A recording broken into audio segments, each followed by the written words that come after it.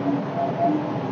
Hello Kuwait and Philippines, hello Middle East, and hello world. Yan po, welcome ulit sa ating live update. Kasama niyo muli sa inyong lingkod, Miss Dean, dito sa ICSA. So, sa ating mga kababayan, especially yung mga nagtatrabaho sa, ano, no, sa bahay na merong once a week or two times a month na off.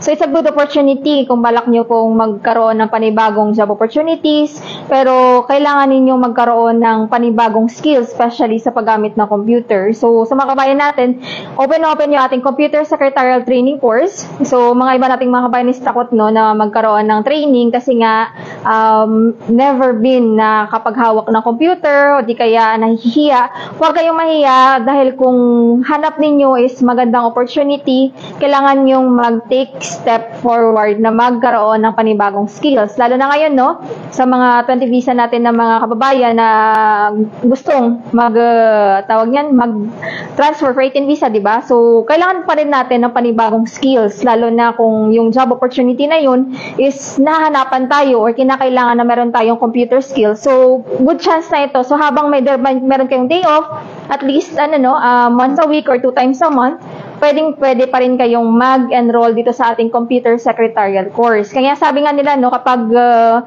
may gusto, may paraan. Kasi andito lang si ICSA sa mga kabayan natin na wala pang knowledge sa paggamit na computer. Yun, yung ating computer secretarial training course is open for enrollment. So, walang problema kung kayo is meron um, two times a month na o di kaya once a week kayang-kaya pa rin. Kasi may mga estudyante tayo dito na even nagtatrabaho sa bahay no, hindi nila ginagamit yung kanilang day off sa um, sa paglalakad siya sa labas, pero ginagamit nila ito sa more sa more ano no, worth it na ano no, investment, especially yung training. Okay?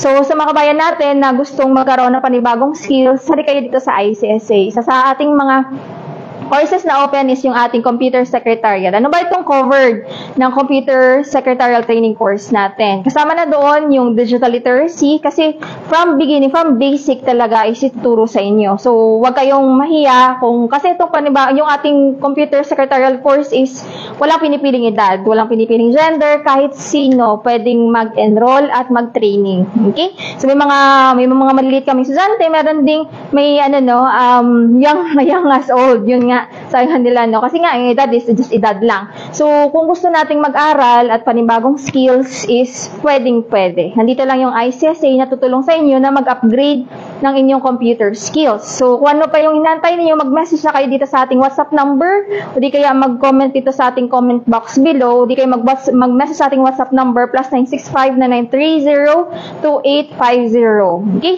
So, eto, maliban sa digital literacy, tuturo rin sa inyo yung, ano no, Windows 11 interface. Ano ba itong computer? Paano ba natin to i-set up? And then, yung ating pinaka-main na, ataw yan, Microsoft Office application, yung Microsoft Word, Excel, and PowerPoint. So, itong tatlo na to, yung pinaka-importante, kung yung target natin na magtrabaho is sa opisina, bilang secretary, receptionist, or even sa ano no administrative staff yun yung pinaka main at saka basic skills na kakailanganin natin sa trabaho. Lalo na kung may bagong opportunity ngayon sa Kuwait, kasi inopen na ni Kuwait yung pag-transfer from this visa to this visa. So, grabe yung opportunity habang maaga. Invest on um, gaining more skills. Kasi the more skills na meron kayo, the more opportunities that you can get. Kung kailan pa ba kayo mag-upgrade ng skills, kung andyan na ba yung ano, offer, pero nag-aalangan kayong i-accept kasi nga, yung hinihingi nilang skills sa inyo is wala pa. Kailangan ko pang mag-enroll sa ganito, kailangan ko pang aralin yung ganito.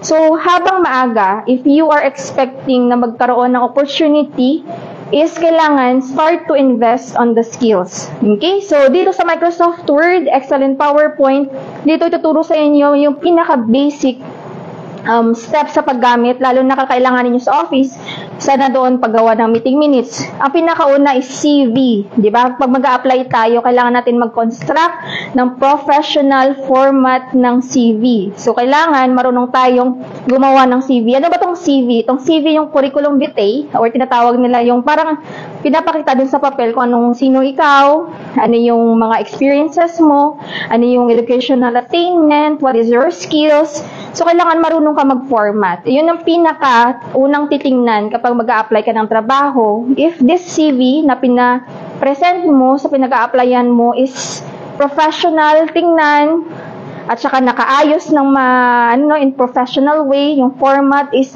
magandang tingnan. So, kailangan, from that very first document na i-submit ninyo is um, convincing. And then, yon na nagpapakita na itong, itong applicants na ito is napaka-professional because it shows sa inyong CV. Yan yung pinaka-importante. CV, memorandum, meeting minutes, sa ma- Microsoft Excel marami. Merong mga purchase orders, inventory, and then sa PowerPoint, um, designing, presentation, business proposals, marami. Maraming marami kayong matutunan sa computer secretarial training course natin. And good news, yung ating computer secretarial is also UK CPD uh, approved. So, yun no, kapag may bala kayong mag-apply sa UK or Western countries, most of the companies doon is naghahanap sila sa mga employees na which is meron ng CPD. Kasi yung CPD sa kanila is yun yung training to certify na itong employee na to is meron ng or nagkaroon na ng practical training on this